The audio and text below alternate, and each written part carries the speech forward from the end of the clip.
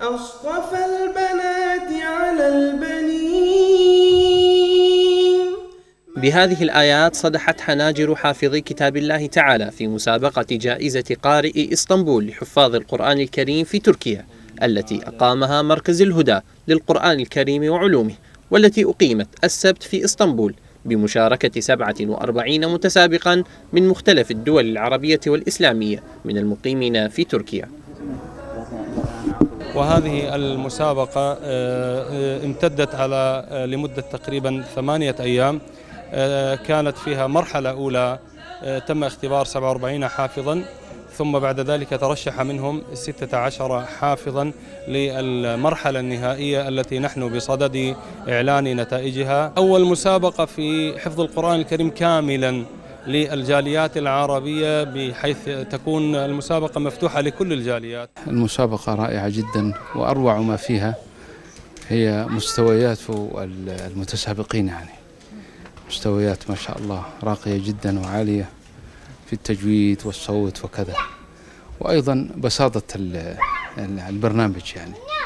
البرنامج كلما كان بسيطا كلما كان إن شاء الله أقرب إلى الإخلاص وإلى السنة. Böyle bir yarışmaya ilk defa Türkiye'de هذه أول مسابقة للضيوف المقيمين في تركيا أشارك فيها. أكثر المسابقات التي أشارك فيها كانت خاصة بالأتراك.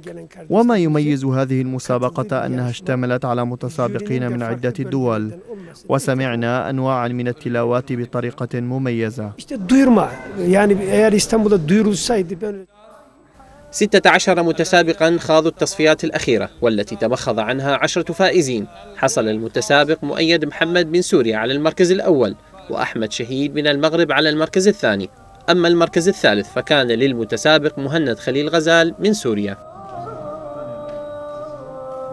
بفضل الله كانت مسابقة جدا يعني ناجحة تنظيميا وأداء الحمد لله. يعني تنوعت الأسئلة بين السهولة والصعوبة. راعت عدة مستويات. الحمد لله كانت مسابقة متميزة الحمد لله. كان لجنة التحكيم يعني كادر متميز.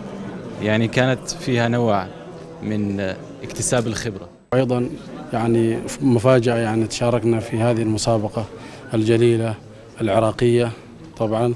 وصراحة شيء مفرح جدا وفرحت يعني. ولسليمان الريح غدوها أجواء التنافس بين حفاظ القرآن الكريم من العرب وغيرهم من المقيمين في تركيا لم تطغى على روعة هذا التجمع الروحاني وعكست رغبة واضحة بالفوز وإصرارا من المتنافسين على التصدر. ليكونوا في زمرة الفائزين الحفظة وهو ما ترك عند لجنة التحكيم قناعة بجدية المنافسة وأهميتها.